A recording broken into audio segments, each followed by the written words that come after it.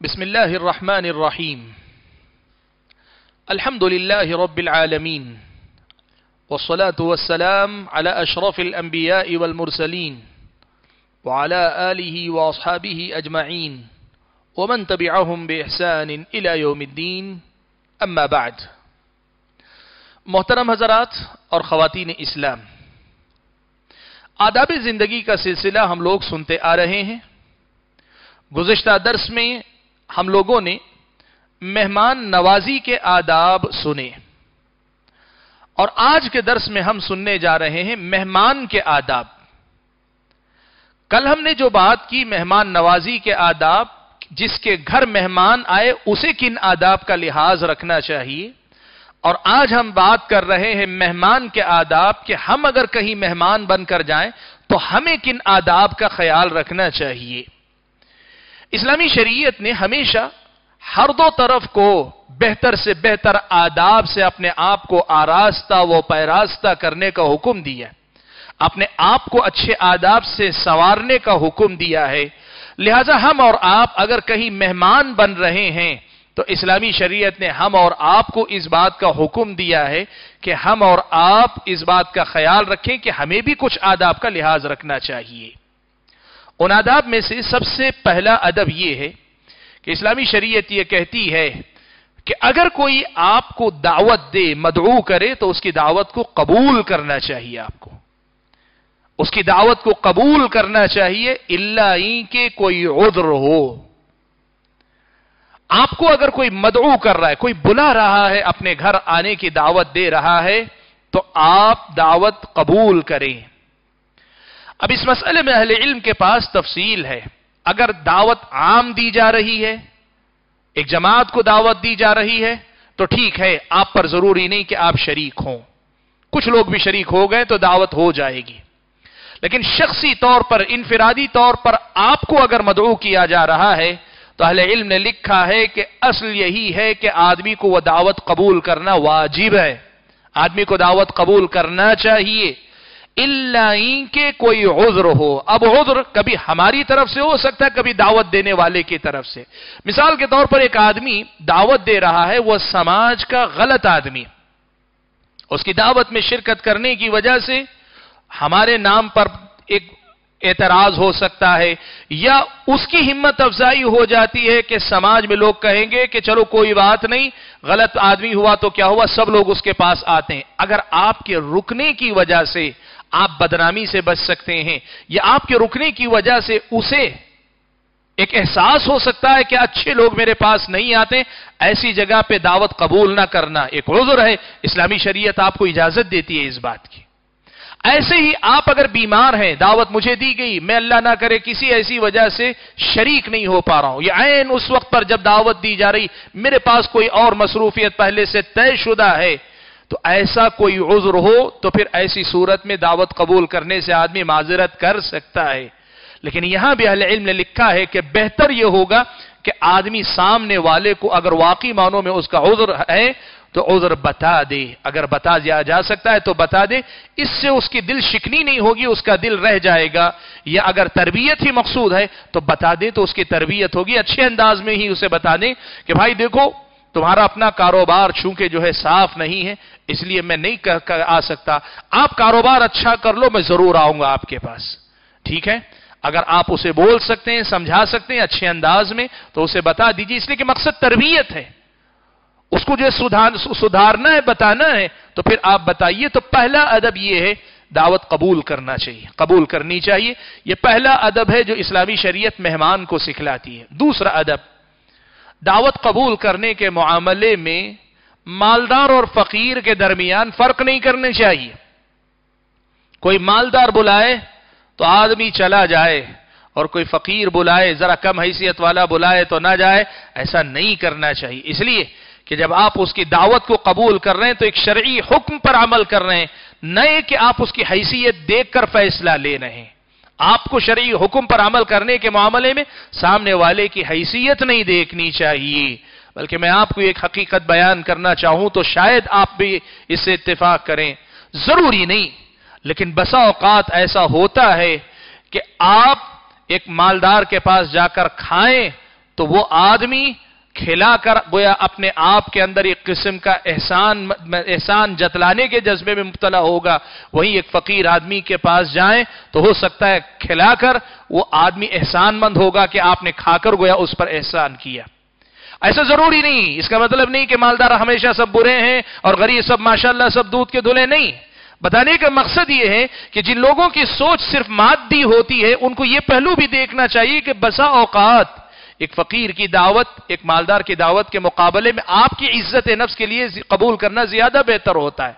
लेकिन इसका यह मतलब नहीं कि आप मालदार को छोड़ के फकीर के पास जाए, नहीं। बात यही है कि मालदार और फकीर दोनों में फ़र्क ना करें, दावत दी जा रही है तो दावत कबूल करें और जाएँ और जाकर खाने की कोशिश करें।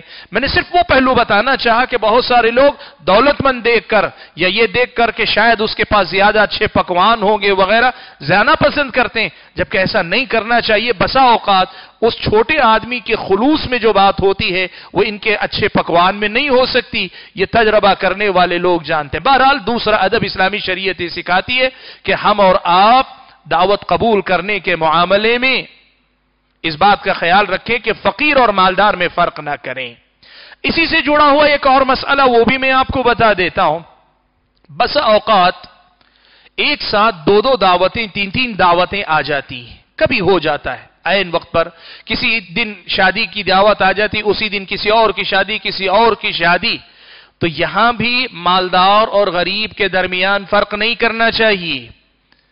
ऐसी दावत, एक से शायद दावतों में तरजीह की बात हो तो तरजीह मालदारी की बुनियाद पर नहीं होनी चाहिए।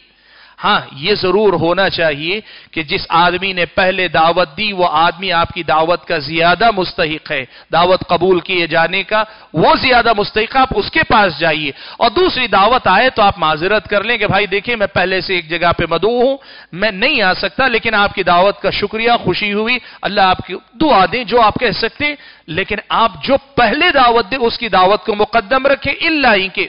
कभी कभार बाज ऐसी मखसूस सूरत हाल आ जाती है, जहाँ दावत बाद में आने के बावजूद वहाँ जाना ज़्यादा बेहतर होता है। खानदानी ताल्लुक के हवाले से या किसी और हवाले से ऐसी सूरत में यह बेहतर होगा कि वो जो पहली दावत जिनकी है, उनसे बात कर लें आप।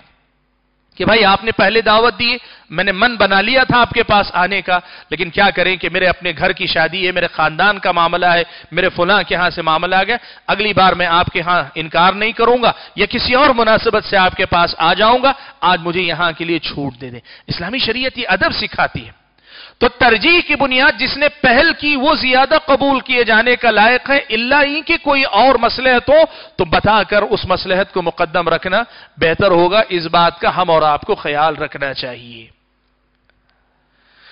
मेहमान से मुतालिक आदाब में से एक अदब यह भी है कि अगर आप रोज़े की हालत में हैं तो क्या आपको दावत कबूल करनी चाहिए?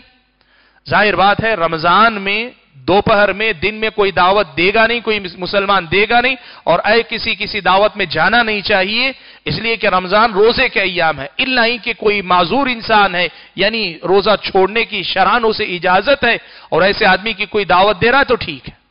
लेकिन अगर कोई आदमी रोज़े की हालत में है, यानी नफिल रोज़े की हालत में है, और कोई आदमी उसे खाने पर बुला रहा है, जोहर में, नाश्ते में, अब यह आदमी क्या करे? अहलेम ने लिखा कि ऐसी दावत कबूल करनी चाहिए। और वहाँ जाने के बाद आदमी को जाना चाहिए घर तक। और जाने के बाद अलबत्ता आदमी को इख्तियार है कि चाहे तो खाए और चाहे तो ना खाए। और आदमी को बता दे कि मैं रोज़े से हूँ। यानी आप उसका दिल रखने के लिए उसके घर तक जाएँ, उसके मुकाम तक जाएँ, जहाँ दावत जियाफत है वहाँ तक जाएँ। लेकिन जाने के बाद चुपके से उनको बता दें कि आपने दावत दी, मैं आ गया। लेकिन मैं रोज़े से हूँ, मैं आज खा नहीं सकता। अगर आप रोजा बाकी रखना चाहते, लेकिन अगर आप अपना रोजा छोड़ देते, इसलिए कि नफिल रोज़े को छोड़ना जायज़ है, और सामने वाले की दिलजोई के लिए अगर आप अपना रोजा छोड़कर खा लेते, इस्लामी शरीयत आप बिल्कुल आपको इसकी छूट देती है। आप मेहमान नवाजी के, मेहमान के जो हकूक हैं, या मेहमान के जो आदाब हैं, उनके आदाब में से एक अदब को अपना रहे। अगर आप वहाँ पहुँच गए तो आपने गोया उसकी दावत को कबूल कर लिया। खाना न खाना, फिर यह आपका अपना इख्तियार है। इस्लामी शरीयत ने हम और आपको यह अदब सिखाया है। प्यारे नबी सल्लल्लाहु अलैहि वसल्लम से इस सिलसिले में हज़रत जाबिर रदी अल्लाह तु की यह रिवायत है। फरमाते हैं कि नबी सलाम ने फरमाया कि मंदो इला तामिन वह फलयुजिब, फ इंशा तईम व इंशा तरक।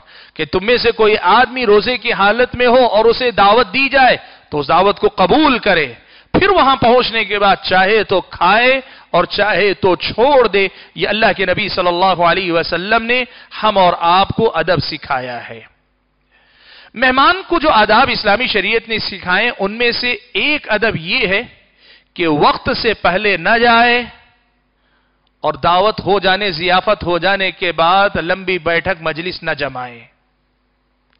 इसलिए कि वक्त से पहले आप चले जाएँगे तो वो मेहमान, मेजबान परेशान होगा कि आपको कहाँ बिठाए, क्या करे, आपको कैसे संभाले। वो तो तैयारी में लगा है अभी। और वक्त के बाद आप बैठे रहेंगे तो उसे अपने घर बार के लोगों के साथ भी खाना पीना रहेगा। कई मरतबा मर्द हजरात खा चुके हैं, घर की खातन को खाना है, या दूसरे सारे मसाइल बहुत सारे होते हैं तो अदब यह है कि वक्त से पहले ना जाए और खा लेने के बाद ज़्यादा देर तक ना बैठे।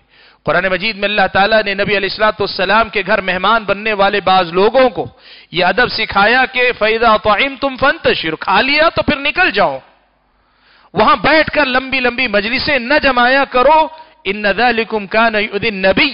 वो नबी को तकलीफ़ दे बात थी, लेकिन फैस्ता मिन को वो शर्माते थे कि आपको बोलें। और यही होता है कि मेजबान मेहमान को कुछ बोलने में झिझकता है। आप खाने से फारिग हो गए, निकल जाइए। या अगर बहुत खास दोस्त महफिल वगैरह जमा रहे तो कम से कम दोस्त की इजाज़त से किसी ऐसे हिस्से में घर में जाइए, जहाँ बकिया घर वालों को हरज और तकलीफ़ ना हो। तो मेहमान को यह अदब सिखाया गया कि वक्त से पहले ना जाए और खा लेने के बाद लंबी मजलिसें न जमाए। यह अदब है, इस बात का ख्याल रखना चाहिए। इस्लामी शरीयत ने हम और आपको यह बात सिखाई है। एक अदब यह भी है कि आप अगर कहीं मेहमान बन रहे हैं किसी के घर मेहमान बनकर जा रहे हैं तो ज़्यादा से ज़्यादा तीन दिन आपका हक है। आप मेहमान रह सकते हैं, ज़्यादा से ज़्यादा तीन दिन तक। तीन दिन से ज़्यादा आपका कोई हक नहीं बनता। आपको तीन दिन के साथ निकल जाना चाहिए, छोड़कर चले आना चाहिए। और ज़्यादा वहाँ रुकने, टिकने, खाने, पीने की आपको उससे परहेज करना चाहिए। क्यों? इसलिए कि नबी अली सलाम ने यही बात बयान फरमाई कि मेहमान का हक तीन दिन तक है। इल्ला ई के घर वाले अगर फिर भी मुसिर हो, मेजबान मुसिर हो, कि नहीं, आप रुकें, आप रहें, और आपको लगता है कि वाकई मानों में वो सिर्फ़ लिहाज रखते हुए नहीं बोल रहे हैं। हकीकत में वो आपके वहाँ रुकने को पसंद कर रहे हैं तो फिर आपका वहाँ रुकना ठीक है, कोई हरज नहीं। वरना आदमी को कोशिश ये करनी चाहिए कि तीन दिन से ज़्यादा मेहमान बनकर कहीं ना रहे। ये मेहमान को सिखाए गए इस्लामी शरीयत के आदाब में से एक अहम अदब है। एक अदब यह भी है कि आदमी खाने पीने के बाद वहाँ से निकले तो खुशी खुशी निकले, वहाँ से रवाना हो तो खाने, पीने या मेहमान नवाजी में किसी भी किस्म की हुई कमी को अपने दिल पे न ले। देखिए, उन्होंने आपकी मेहमान नवाजी की यह खुद आपके इकराम और एजाज की दलील है। अब उसमें कहीं किसी पकवान में थोड़ी थोड़ी बहुत कमी हो गई नमक घट गया, बढ़ गया, कोई पकवान थोड़ा जल गया, या फिर यह कि आपकी तो के मुताबिक शायन शान एहतमाम ना हुआ, थोड़ी कमी रह गई, या फिर यह कि कुछ भी कमी हुई मेजबान की तरफ़ से तो अदब यह है मेहमान का कि उन कमियों को नजरअंदाज करके निकले खुश खुश निकले। इसलिए कि बहरहाल उनसे जितना बन पड़ा उन्होंने किया। आप उस पर राज़ी होकर निकलें, खुश होकर निकलें, उनसे नाराज़ होकर ना निकला करें। इस्लामी शरीयत ने मेहमान को यह अदब सिखाया है। एक अदब मेहमान को यह भी इस्लामी शरीयत ने सिखाया है कि दस्तरखान पर अगर बैठे तो तकल्लुफ ना करें। तकल्लुफ क्या है? चीज़ मौजूद है, आदमी को ज़रूरत भी है, लेकिन खामखा लेने से परहेज कर रहा है, खामखा अपने आप को बेनियाज ज़ाहिर कर रहा है। नहीं। हज़रत अनस इबन मालिक रदी अल्लाह तु रिवायत फरमाते कि हम हज़रत उमर इबन खत्ताब रदी अल्लाह तु के हाँ मौजूद थे तो हज़रत उमर ने कहा नुही ना अनी तकल्लुफ। हमें तकल्लुफ करने से मना किया गया है। खाना रख दिया गया है, हसब ज़रूरत आप लीजिए। तकल्लुफ ऐसा ना कीजिए कि रखा हुआ है, फिर भी आप ना ना कर रहे, ना ना कर रहे, नहीं। आप हसब ज़रूरत ले ले, यही जो है अदब है, मेहमान को जो इस्लामी शरीयत ने सिखाया है। इल्ला ही कि वाकई कोई ऐसी चीज़ है, आपकी ज़रूरत पूरी हो गई मेहमान मेजबान इसरार कर रहा है, आप मना कर रहे हैं, मना कीजिए। लेकिन तकल्लुफ ना कीजिए, इस्लामी शरीयत इसको पसंद नहीं करती है। और जो आखिरी अदब है, जो मेहमान को इस्लामी शरीयत सिखाती, बतलाती है, वो ये कि मेहमान को चाहिए कि निकलते हुए खा पीकर निकलने से पहले मेजबान को दुआ देकर निकले। मेजबान को दुआ देकर निकले। प्यारे नबी सल्लल्लाहु अलैहि वसल्लम ने मुतद दुआएँ सिखलाई। अफ्तर इंदकुमसाइमोन व अकल तआमकुमुल अबरार व सल्लत अलैकुमुल मलाइका, एक दुआ। अल्लाहुम्मा बारिक लहुम फीमा रज़क़तहुम वगफिर लहुम वरहमहुम, एक और दुआ अल्लाह के नबी ने सिखाई। एक और दुआ अल्लाह के नबी ने सिखाई, अल्लाहुम्मा अतिमना तआमना वस्क़ी मन सक़ाना। ये जो दुआएँ अल्लाह के नबी ने सिखाई, मुख्तलिफ़ दुआएँ जो अल्लाह के नबी ने सिखाई, इनमें से कोई ना कोई दुआ मेजबान को दुआ देकर निकले और इस तरह निकले कि वो राज़ी हो। आप उससे राज़ी हो, वो आपसे राज़ी हो। ये मेहमान को सिखाया गया एक बड़ा ही अहम अदब है। इस बात का हम और आपको ख्याल रखना चाहिए। हाजीन गिरामी, कल के दर्स में हमने मेहमान नवाजी के आदाब सुने, आज हमने मेहमान के आदाब सुने। अल्लाह से दुआ कीजिए कि हम और आपको इस्लामी शरीयत के सिखाए हुए इन आदाब की पाबंदी करने की तोहफी अता फरमाए और इनके ज़रिए अपनी शख्सियतों को निखारने, अपने मामलात को सुधारने, संवारने की तोहफी अता फरमाए। आमीन व आखिर दावाना अलहमदिल्ला